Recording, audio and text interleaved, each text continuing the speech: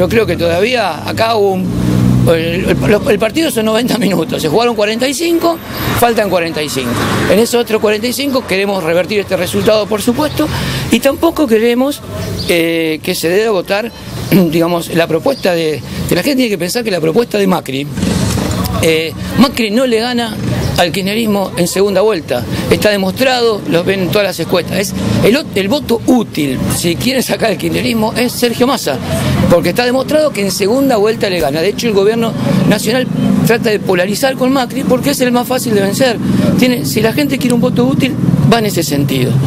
Eh, y por supuesto, ni hablar de Felipe Solá. me parece que es el, gobernador entre la vida y la muerte, el hijo de Felipe, y entre la experiencia y la inexperiencia, el hijo de Felipe.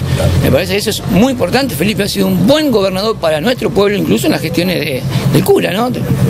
Eh, Daniel, vos crees, claro está, de acuerdo a tus palabras, que las PASO es una elección, las generales es otra, la gente puede haber eh, en las pasos elegido participar de alguna interna y esta vez va a mandar su voto eh, positivo, digamos, o distinto, de acuerdo a esa persona, y vos te ves en condiciones de recuperar eh, votos de los 9.000 que obtuvieron las dos líneas del Frente para la Victoria. Sí, por supuesto. Eh, por supuesto que sí, es, la propuesta de lo que intentamos que la gente lo vea en propuestas.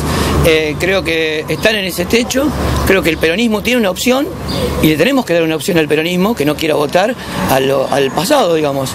Eh, y de hecho, me parece que también hay que rescatar muchos funcionarios de este gobierno que son absolutamente gente que ha laburado bien, que, estamos en conversaciones a los efectos de que nos acompañen y la ciudadanía tiene, digo, dos opciones peronistas y después viene la derecha o viene otros sectores.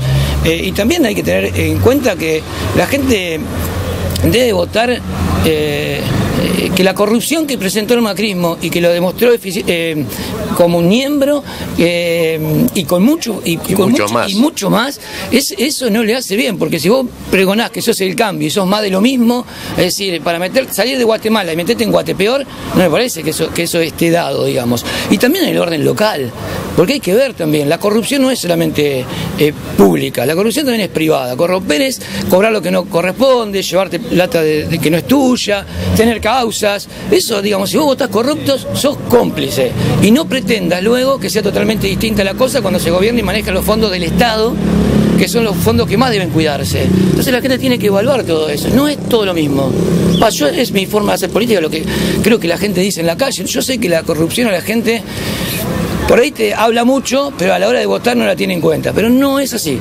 Porque si van y te dicen que no se va a inundar el trocha más, pero después se llevan la plata para la obra del trocha, te están cagando. Digamos, te están mintiendo. Es así. Lo que falta en un colegio está en el bolsillo de un funcionario y eso eh, es indefectible. Los, recursos son finitos. Entonces hay que tener en cuenta todas esas situaciones a la hora de votar.